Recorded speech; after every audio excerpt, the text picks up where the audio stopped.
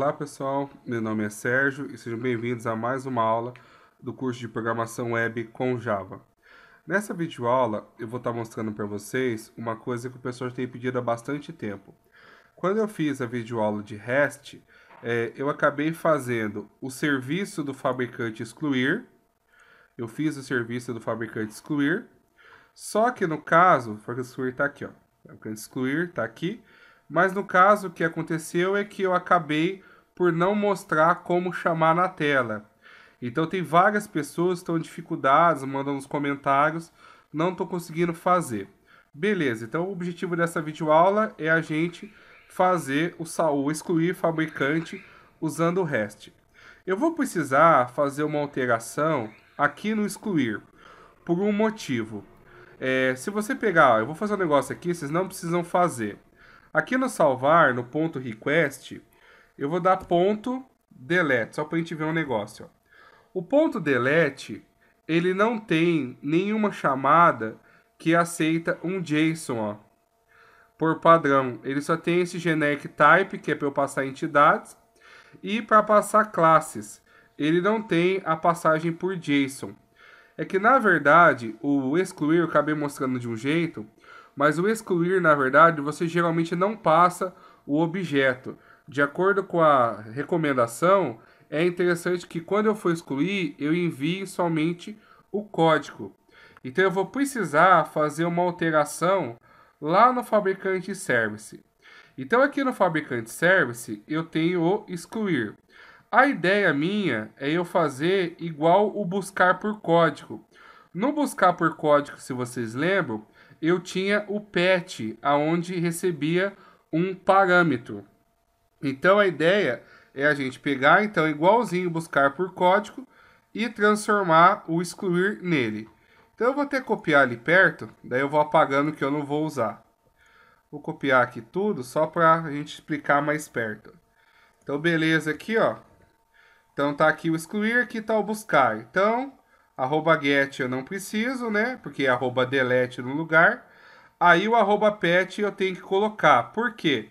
Na hora de chamar, eu vou chamar dessa forma aqui, ó.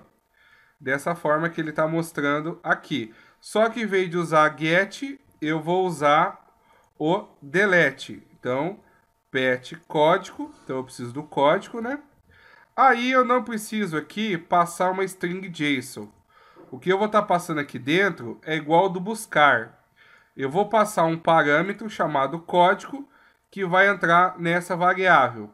Lembrando que esse aqui é o nome Java, esse aqui é o nome que vai vir lá da chamada, tá? Então esse aqui é esse daqui. E esse aqui é o que vai ser convertido no Java.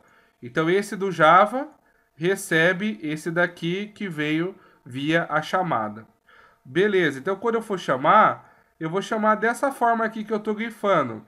A diferença vai ser a seguinte, que eu vou, no lugar de chamar com get, eu vou chamar com delete. Beleza, então. Agora aqui, então, eu posso, eu não preciso mais fazer essa conversão aqui inicialmente, ó. Essa conversão aqui eu não preciso mais. E aqui no caso também, eu vou até apagar esse fabricante aqui e esse GISON aqui, ó. Então, primeiramente, eu crio o DAO, aí eu busco o fabricante pelo código passado, porque para excluir eu preciso do fabricante.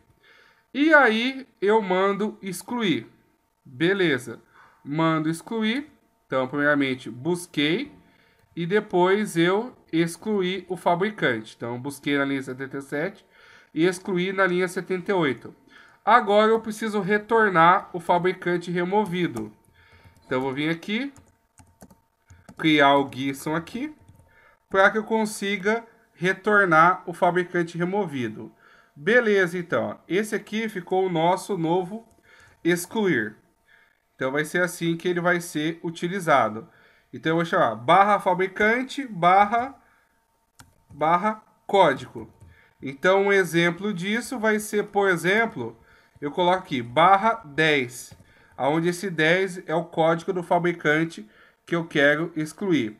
Beleza, não vou testar isso aqui agora, porque o nosso tempo está um pouco curto, né? Então eu vou, no caso, já aplicar direto lá no fabricante BIM. Mas se você quiser, você pode testar depois lá no seu, é, lá no Advanced REST Client. Vamos agora lá no fabricante BIM. No fabricante BIM, então eu tenho salvar aqui e tenho o excluir. A parte inicial é muito parecida. Então o que, que eu vou ter que fazer? Essa parte aqui não tem como evitar, porque esse aqui é o que pega, no caso, o fabricante que eu quero deletar. Então esse eu tenho que deixar. Aí eu vou criar um cliente, né? Então eu vou até copiar aqui para ganhar tempo. Vou criar um cliente novo. Vou efetuar a chamada, ou seja, eu vou criar um caminho. Então vou criar um caminho, ou seja, até aí idêntico.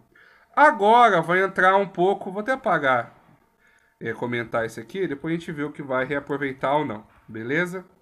Vou comentar. Agora o que eu vou ter que fazer, eu fiz o caminho.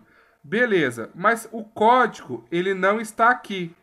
Então o que, que eu vou ter que fazer agora? Eu vou ter que adicionar o código nessa chamada do caminho.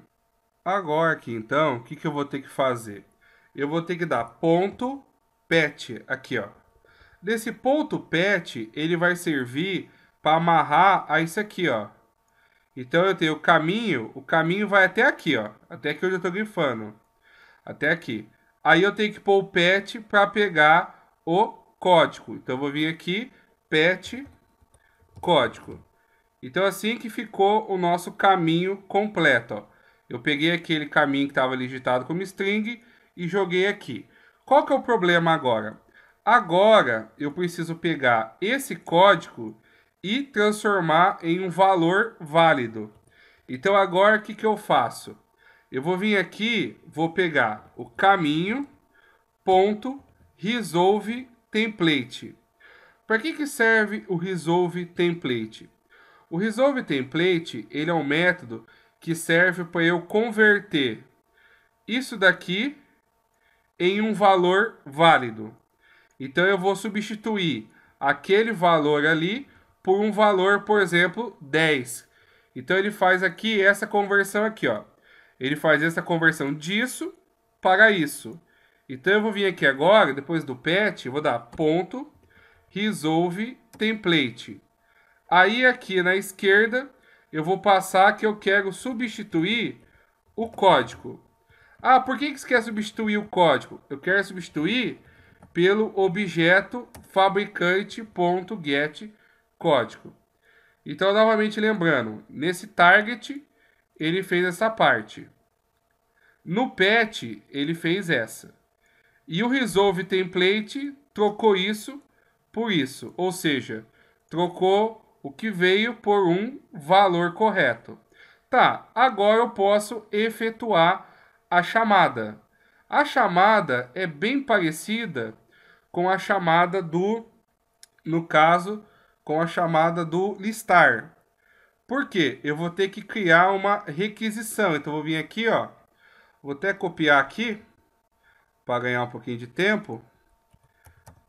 Aí eu vou vir aqui e vou fazer o quê? Esse JSON aqui vai vir quem foi excluído. Beleza? Então eu dou o caminho, ponto request, gera uma requisição. Só que no lugar do ponto get eu ponho ponto delete. Pronto, ó, ele vai fazer a chamada para mim. Tá, agora aqui não vou pegar nenhum retorno, porque eu não quero tratar isso agora. Então ele vai fazer o delete para mim. Aquele response, se eu fosse pegar, eu teria que destrinchar ele para pegar o JSON retornado. Vou deixar quieto agora, porque o objetivo é mais deletar mesmo. Beleza, deletou, agora eu preciso atualizar. Atualizar eu já mostrei, ó. É esse aqui, ó. O atualizar é esse aqui, ó. Basicamente ele pega, faz uma requisição, né? Pega o vetor de fabricantes e carrega como uma lista na tela. Então eu vou copiar esses três aqui, porque para a gente ganhar um pouco de tempo no lugar desse aqui, ó. Beleza, eu vou criar aqui string JSON, né?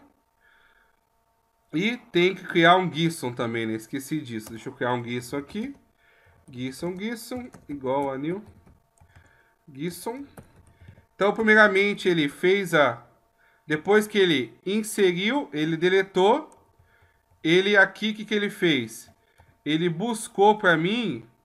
Oh, não, isso aqui tem que apagar, isso aqui não serve. Pera aí, eu tô fazendo, deixa eu ver o que, que eu fiz aqui. Salvou, aí ele fez o get. O get é o que traz tudo, isso mesmo. Então aqui ele deletou e aqui ele fez um get para trazer o listar, ou seja, ele está chamando esse aqui de cima, ó. Ele está chamando o listar aqui, ó. Esse daqui que ele está chamando porque é get. E daí o que, que eu tenho que fazer? Eu tenho que pegar e converter o JSON que veio para um vetor, para daí eu conseguir atualizar a lista de fabricantes. Pronto, ó. Ficou assim o final do nosso excluir. Vamos testar. Antes de testar, pessoal, eu vou aqui no caso é, tá fazendo dois ajustes que eu encontrei aqui, ó. Primeiro erro que eu cometi, aqui no Resolve Template, eu não ponho o símbolo de chave, tá? Aqui eu coloco simplesmente o mesmo nome que está aqui, só que sem a chave. Outro problema que vai dar é o seguinte, aqui eu estou dando um get, né? Aqui, ó, estou dando um get. Só que a URL do get, ele não tem o código. Então eu vou fazer o seguinte, eu vou tirar isso aqui daqui, vou tirar isso daqui daqui, vamos tirar, e então eu vou deixar a URL padrão. Aí o que, que eu vou fazer? Vou colocar aqui, ó.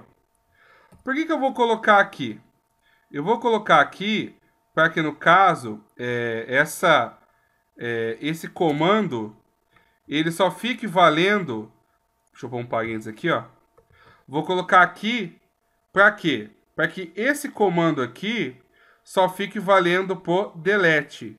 A hora que eu der o get aqui, ó, cadê o get? Aqui, ele pega a primeira aqui, ó. Ele pega a primeira. Então, essa aqui que acaba sendo a nossa genérica e essa aqui fica sendo a melhorada. Se você quiser, você pode criar um outro web target, se quiser. Então, eu posso, por exemplo, vir aqui e colocar web, target, caminho, excluir. Aí eu coloco ele aqui, ó. Coloco isso aqui. Até aqui antes do request, né? Coloco aqui. E aí eu chamo ele aqui, ó. Aí eu fico com dois caminhos, né? Fico com o caminho normal e fico com o caminho excluir. Então, o caminho excluir eu uso aqui para fazer a requisição do delete. E o caminho normal, o genérico, eu uso para fazer o get. Fica a critério de vocês como vocês querem fazer aí. Vamos testar agora então. Vou até debugar para vocês entender o que está acontecendo. Deixa eu marcar aqui o debug para a gente entender. Então, o botão direito aqui, é, debug as, debug on server. Então, esperar ele iniciar aqui, vai levar uns 20 segundos.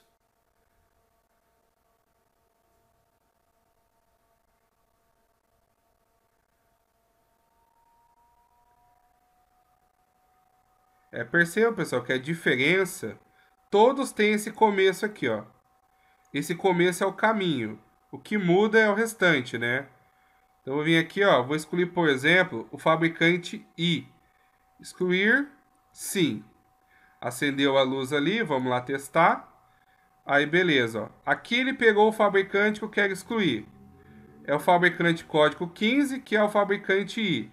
Então, ele pegou certo. Aqui ele vai criar o cliente. Vamos ver agora para vocês verem. Ó. ó como ele criou o caminho.